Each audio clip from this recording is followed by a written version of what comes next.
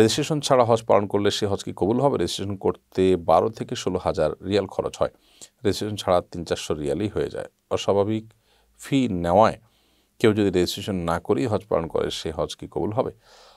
সমত সৌদি কোনো প্রবাসী প্রশ্ন করেছেন, রেজিস্ট্রেশন ছাড়া যদি হজ করেন এবং হজের সকল ফরজ ওয়াজিবগুলো পালন করে ফেলেন, হজ হয়ে যাবে।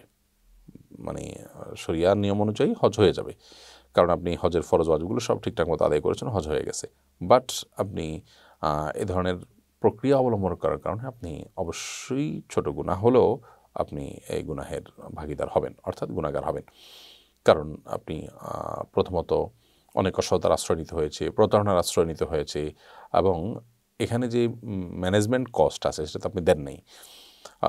হজের আপনার বিভিন্ন জায়গায় আপনি গেছেন, সেখানে যে ব্যবস্থাপনা রাখা আছে সেগুলোর পিছনে খরচ হয়েছে। সেটা না দিয়ে আপনি ব্যাপারটা হলো যে আপনি সার্ভিসটা নিলেন, এরকমটা হয়ে গেল আর কি।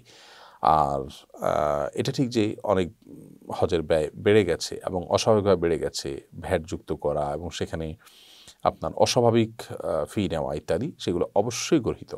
সেটা সম্পূর্ণ ভিন্ন বিষয়। কিন্তু তাই বলে আপনি মানে যদি প্রতারণা করেন, মিথ্যার আশ্রয় নেন বা অন্য কোনো কিছু করেন, তাহলে গুণা হবে। যদি মিথ্যা আশ্রয় প্রতারণা না করেন, এভাবে হজ করে ফেলেন, তাহলে হজের ফরজ আদায় হয়ে যাবে।